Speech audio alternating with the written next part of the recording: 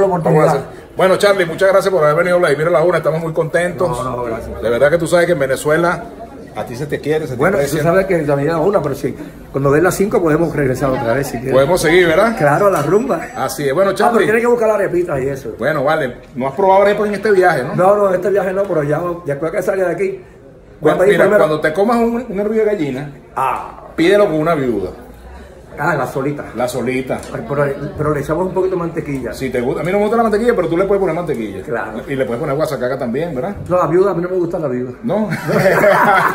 y después que le pongan Arepa viuda, estamos hablando de arepa Ah, arepa viuda. viuda, arepa Claro, viuda, claro. arepa viuda.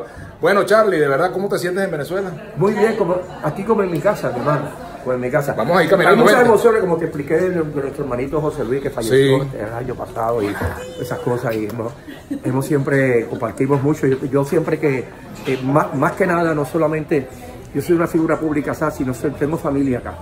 Tengo familia acá y la, la familia del Valle, eh, allá este, Los Peñas, y somos una familia musical todos, todos ellos. Grey, por cierto, de parte de esa familia. Así es. Y estoy, yo me siento tan emocionado porque tengo mucha gente acá que hace tiempo que no veo. Y la, última presentación que tuve acá en Venezuela fue acá en Caracas en el 2014. Mira, tu mejor recuerdo del Gran Combo. ¿Qué no puedes decir del Gran Combo? Orquesta con la cual pasaste tantos años. Mira, yo vida. siempre pasé, son tantos recuerdos, acuérdate que es una familia. Así es. Cuando yo me fui del grupo, la gente empe- empezó a hablar de que, de que si no, que te fuiste, yo me fui físicamente, pero espiritualmente estoy con el grupo. Así es. Porque yo entiendo que, imagínate, mi, eh, mi papá, Rafael Itier, Claro. Bueno, me cogió un niño de 20, un muchachito de 22 años y estuve ahí hasta los 60 y pico, o sea, 40 y pico de años. 40 46 años Claro, papá, Gran sí, Combo, sí, ¿no? señor, sí, señor, 41 Así. años y medio con 3 semanas y 2 días y 20 horas. Ajá, Una pregunta que te voy a hacer. ¿Cuál es la canción del Gran Combo que más te gusta a ti? Mira, hay un tema que se llama Oye como tiembla el alma gritando que tú eres entre todas las mujeres que de amor llenan el mundo, la que más amor me dio.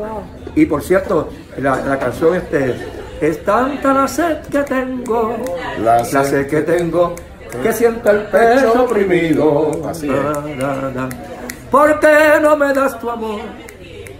tu amor tan tierno, si es tan puro, mi cariño. Y Del gran sí. Dame un beso, toma un beso, mírame que yo te miro, ábreme tu corazón, llévame siempre contigo, y en el portal de la dicha, clava tu nombre y mi sino. Y hay unas hojas blancas que te están cayendo Sí, también. no, ¿verdad? yo me las pido. Pero tú me dijiste que si no te dan de beber lloras, ¿no? Ah, pues claro, claro. Pero aquí no te vamos a dar de beber, Pues mira.